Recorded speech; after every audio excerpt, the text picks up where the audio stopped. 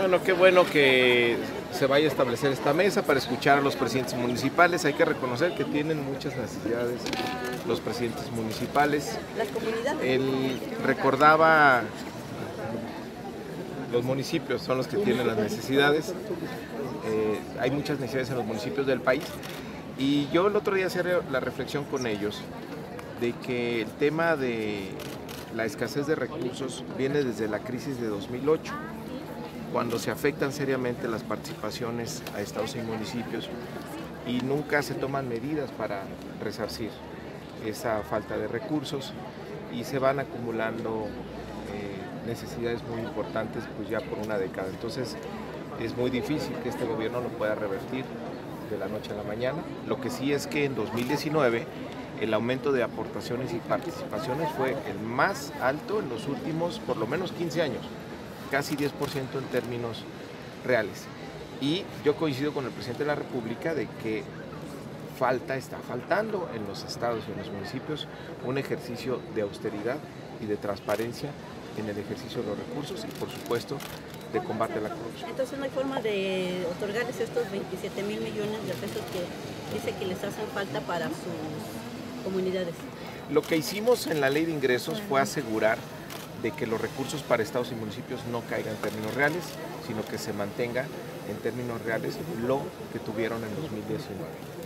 Y eso, las modificaciones que tuvo la ley de ingreso, nos llevó a que tengamos esa, podamos cumplir esa meta. Van a venir los alcaldes a decir que en el Fortasec también se les pedirá dinero, ahora con el, este Instituto del Bienestar también se les pedirá dinero y no tienen el dinero suficiente ni siquiera para tener por lo menos los servicios públicos para la gente. A ver, el Fortasec no ha tenido los resultados esperados.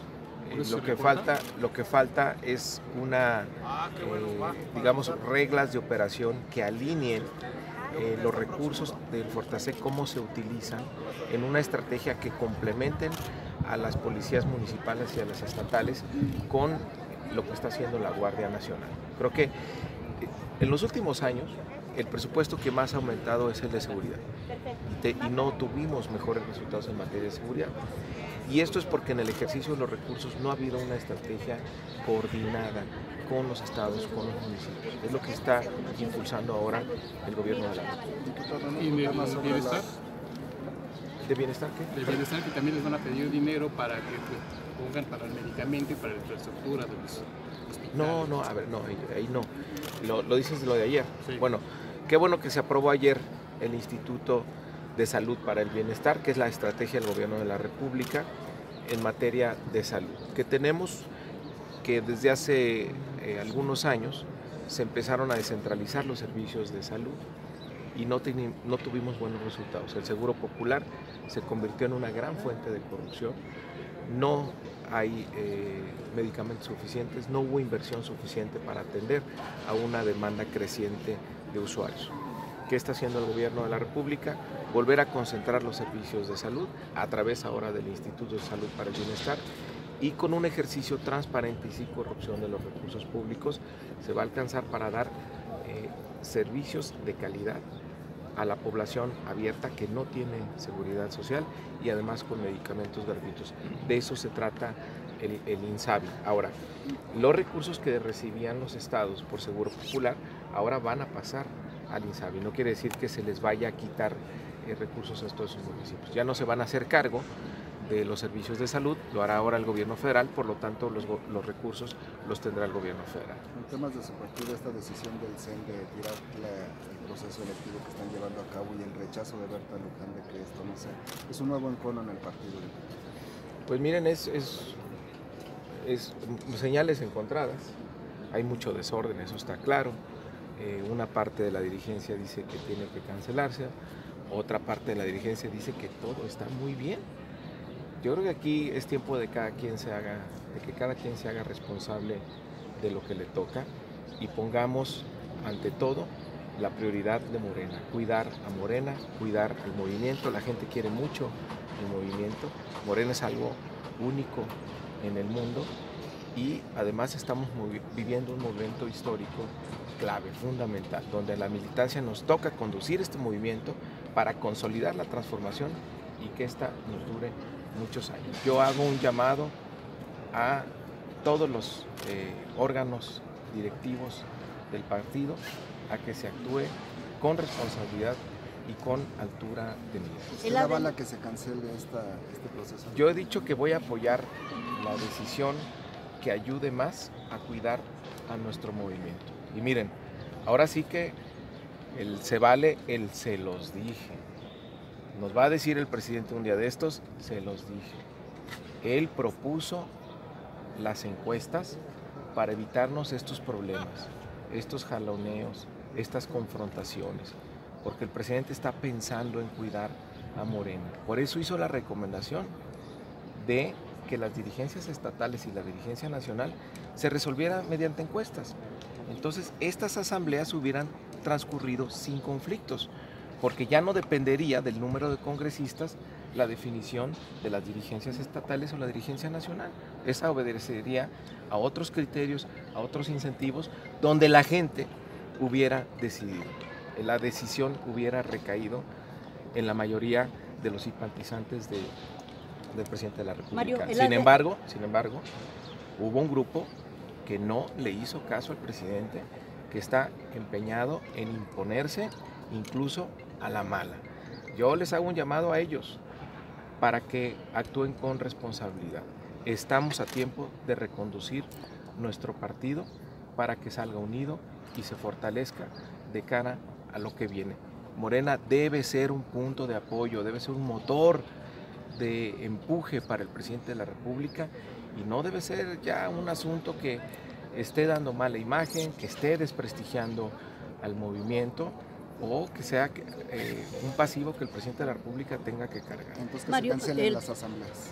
Que se tome la mejor decisión, nosotros la vamos a apoyar. Yo creo que debe prevalecer un proceso interno, sin dudas, transparente, democrático, sin excluir a nadie a la mala, donde haya debates y que confiemos en la gente, que le demos a la gente la decisión de quién debe ser el próximo dirigente. Morena es del pueblo, Morena es de la gente, no es de nadie, no es de ningún grupo. Mario, el ADN periodista los persigue, vemos que las tribus salen, pero están a color de piel en varios, en varios morenistas ahora. Pues es que lo extraño ahora es, mira,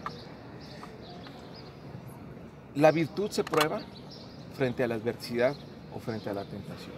Entonces muchos aquellos que se decían virtuosos ahora están actuando como mapaches. Entonces, siempre luchamos porque nuestro país se convirtiera en una auténtica democracia. Entonces, ahora que estamos en el poder, tenemos que demostrar que somos demócratas por convicción.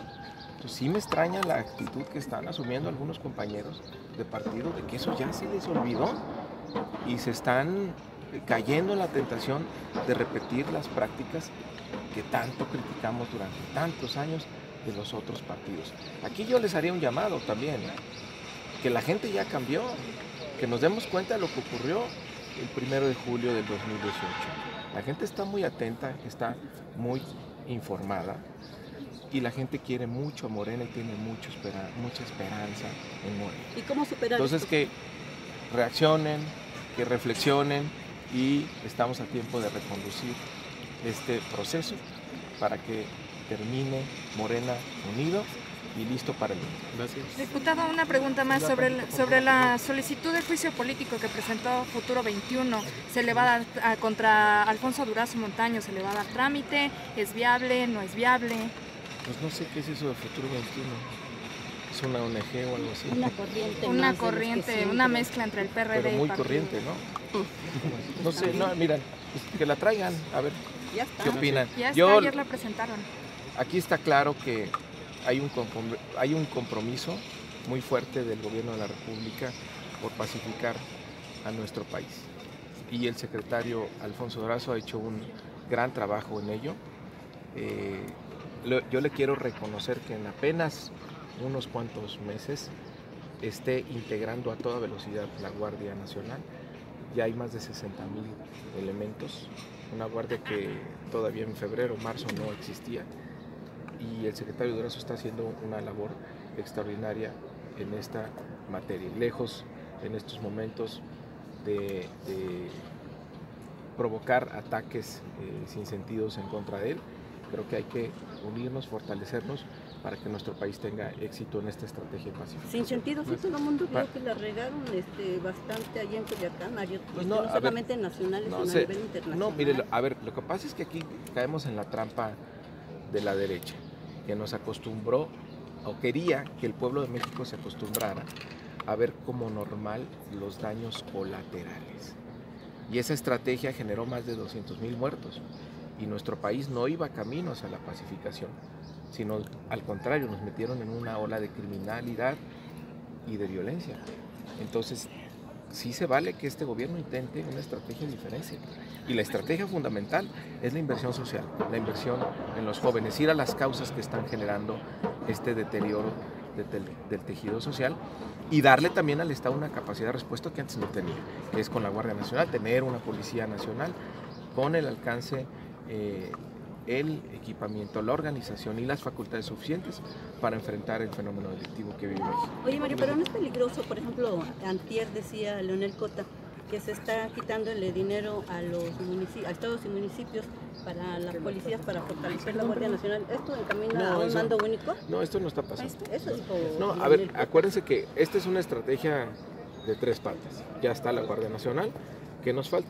El fortalecimiento de las policías estatales y de las municipales. Ahí tiene que haber un esfuerzo paralelo y yo creo del mismo tamaño al que se está haciendo en, en la Guardia Nacional.